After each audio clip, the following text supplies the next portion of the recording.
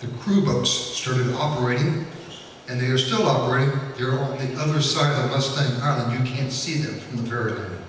They'd be, if you will, on the north side, and they're still in operation. And from 2000 to 2008, Texas Treasure Casino Ship had a headquarters and a mooring site on, Must on uh, Harbor Island. So quite a dynamic place has changed. What's the future look like? Well, there is some rumor about that Mustang or, or Harbor Island may have a new future. There is a, a talk about um, cruise ships mooring there in the future, so we'll see if Mustang or Harbor Island doesn't open a new renaissance for itself.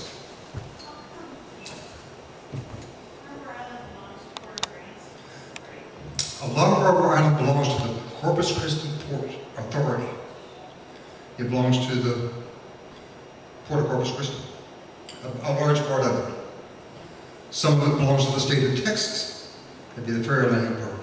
And I do believe part of it does belong to the city of Port Aransas. We definitely put our cities, our, our city limit sign out there. If we look at the oil depot that I described a few moments ago, this is what got us involved in World War II, this town. The fear was that a German submarine would come through the Aransas Pass under the cover of darkness.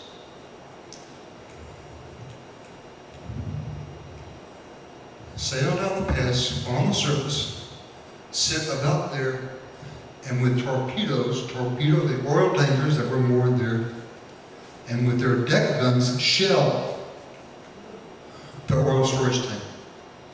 And at this time, this oil farm was the fourth largest in the nation. It was truly a strategic, a strategic uh, war surplus. I know you've heard about the dune guns, the coastal guns of Port Aransas. This is why those weapons were emplaced in the dunes. These are the locations of these two weapons, close to where the uh, MSI is, Marine Science Institute.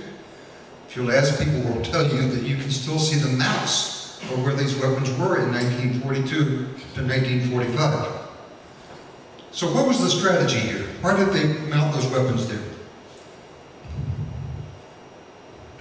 These two locations were where searchlights at the start of darkness started playing back and forth on the entrance of the Aransas Pass to reveal anything coming through. There was a curfew. You couldn't come through the pass after a certain hour. The weapons were trained down to engage anything that did come through the pass. And so that's why they defended, and they defended it well, because the U-boat did not uh, come through and interrupt that important uh, war site. The jetties gave us tarpon fishing.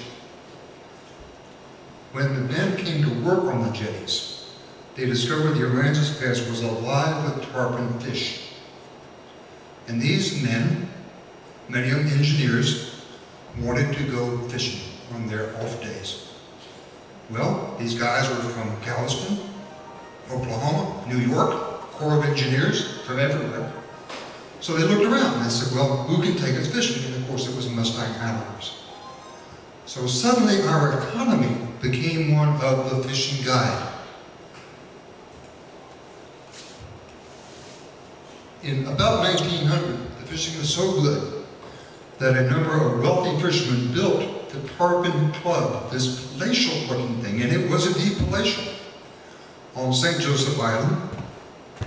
To go fishing, they were picked up there by Mustang Islanders in these small rowboats and taken fishing. But the, it's, the, the, uh, the wealthy fishermen said it's too slow this rowing thing. We want, we want to go out, catch our fish, and get back and enjoy our wine and our cheese. So they started buying the Mustang Islanders powerboats. They said, this is what we, we, want you to use. And they gifted some to the Islanders.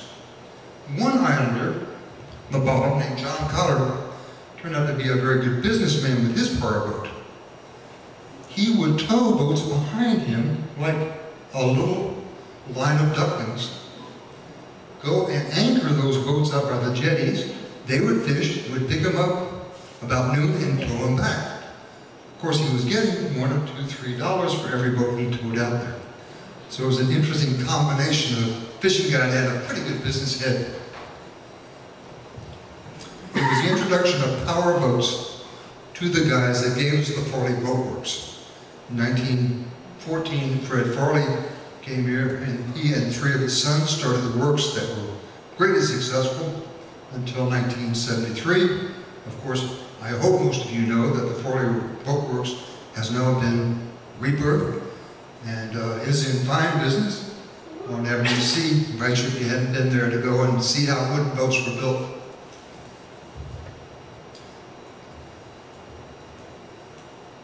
Sorry, this is a new machine, first time I've used it.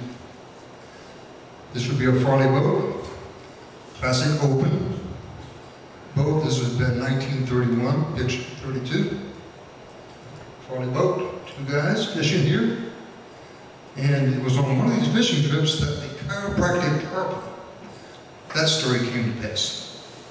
The fellow was fishing named Dr. Richard Sutton.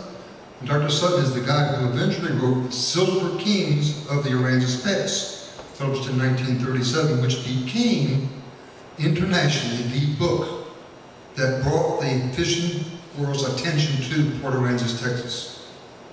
Dr. Sutton said, and he was well fished. He had fished everywhere in the world. He had hunted everywhere in the world. He said the finest fishing for tarpon is in Port Aransas, Texas. Well, he was fishing one day with a fishing guide. Uh, Don Farley, as a matter of fact.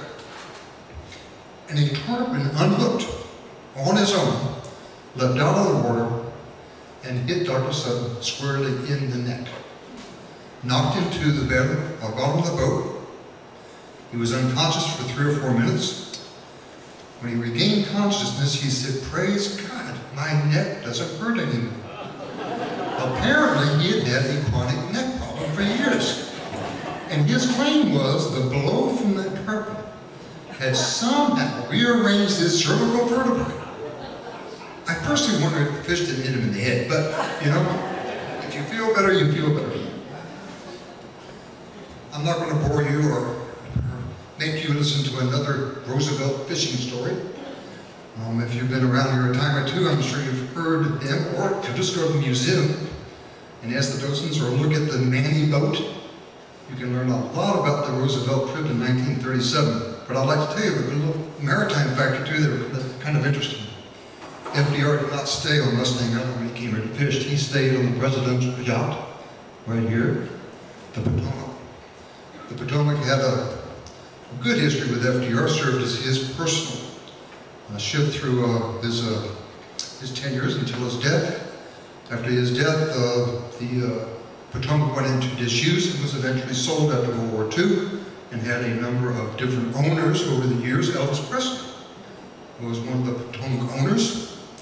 Eventually, she was rotting away at a dock. Elvis uh, didn't, didn't, didn't rock and roll on the Potomac. And a group in California picked it up in the uh, late 80s and has totally renovated the boat now and published not too long ago the fact that the that smokestack, the rear, the aft smokestack, was entirely fake. It was a fake in that it hid the elevator mechanism that took FDR from one deck level to the other. As you know, FDR was wheelchair bound you might also know that that was not revealed to the American population through his 10 years of presidency. Imagine trying to make that work today, to have the press that coordinated with any form of government. You've seen so many pictures of FDR, I thought I'd show you one of the people who, who made those pictures. Here's the press boat shooting him on the day he caught his tarpon, and the scale from that tarpon is right down the tarpon end, remains there. As I said, he did not come on Mustang Island. He stayed on the presidential yacht. But FDR did go to St. Joe Island. He went there as a guest of Sid Richardson, a wealthy Texas oil man, who was a friend of FDR's, and said, please come have luncheon at my ranch house. So when FDR got to St. Joseph's, there was a question of how to get him in the wheelchair ashore. So Mr. Richardson and his placeros, his cowboys, did some quick thinking, drug out a cattle chute, put it next to FDR's ship and said, Mr. President, come ashore. Well, FDR was looking at this on askance of, really? Sid Richardson, in his best Texas drawl, said, why, Mr. President, you're the biggest bull to ever come down that chute. And with that, FDR rolled down and a good, uh, good lunch. the harbor we see today in Port Aransas was very different in the 50s, 60s. There was a big commercial fishing operation here. In this case, these guys are these guys are shark fishing, and they're harvesting the shark fin for shark fin soup. We used to have a shrimp fleet here, bay shrimpers. And here would be the Port Aransas Fisheries, the heart of the commercial fishing industry. Various, big part of our maritime world, three levels, privately owned, owned by Nueces County, and finally state-owned in 1968. This individual that looks very much like Popeye was Mr. Tabor, who was a very captain, and on occasion he would get on the deck and do the Popeye dance for, for the kids. I never got to see him, I'm sorry I didn't. Anyone here get to see Mr. Tabor? Did you? Must have been something. Outboard motorboat changed the economy of Port Aransas. If you look at this picture, fishing off the jetties, three smiling faces. What you don't see in the picture is a fishing guide. The outboard motorboat meant you could come down here, launch your boat easily, and go fishing without a guide. That's what started to change our economy. Instead of the heavy guide business, the guides had to get involved with ice, bait, selling fuel, so it broadened our economy in this town. The outboard motorboat has also had implications for ecology. This is the hull of a, of a current bay boat, and this is called a tunnel. Essentially, the bottom of the boat is carved out and this little mechanism here allows the engine to run at a tilted position. That boat can run in about four or five inches of water at 40 miles an hour. And that can really tear up a lot of the, of the, of the flats area and run fish off those flats. That's why if you've been in some of the bays, you'll see the, this is restricted to poling only. And so, uh, the state of Texas trying to stop the use of the, of the jackboat boat. Port Aransas are doers. In Port Aransas, to a great degree, if you need a boat, you build one yourself. The Pollyanna has the best shrimp on the Texas coast. I'm sure you'll, you'll agree. The Pollyanna is owned by Mr. John Nixon. The Pollyanna was built by Mr. John Nixon in his backyard. Mr. Nixon built the Pollyanna in two halves. This is a picture of half of the Pollyanna going down Cotter Street. The other half will be over here. This was parked at the boat launch. The second half was brought to the boat launch and they were welded together there and launched to be the, the, the fine vessel that it is today. Look at all the ships and all the maritime industry I didn't get a chance to talk to because of those damn tangents. And I'll get you every time. I thank you very much.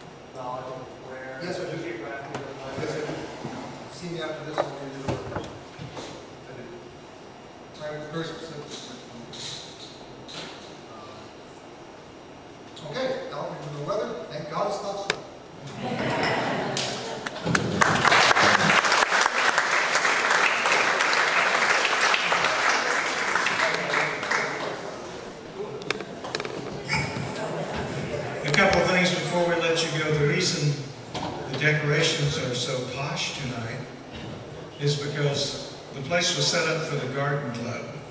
They're having a party here tomorrow, so please try not to mess them up as you leave, because they'll take it out of my eye.